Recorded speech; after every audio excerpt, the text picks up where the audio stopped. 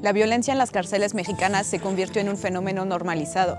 El 6 de julio pasado, 28 personas fueron asesinadas en el penal de Acapulco Guerrero. Este no fue una excepción, un caso aislado. Este penal cristaliza todas las dificultades que atraviesa el sistema penitenciario mexicano desde muchos años. Autogobierno, sobrepoblación, fallas en el proceso de clasificación y separación de los internos, carencia en personal penitenciario, entre enero y julio de 2017, 185 personas murieron en una cárcel mexicana. Representa un muerto cada 24 horas.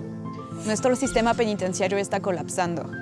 Los motines de Acapulco Topo Chico, los homicidios, riñas, no son una excepción, sino un caso generalizado, una tendencia, parte de la vida cotidiana de las personas privadas de la libertad en nuestro país.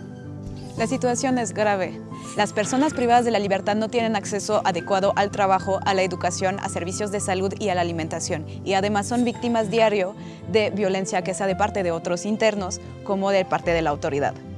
Urge que se emita una declaratoria de implementación de la Ley Nacional de Ejecución los defensores públicos tienen que conocer el nuevo sistema de ejecución para poder defender los derechos de las personas privadas de libertad.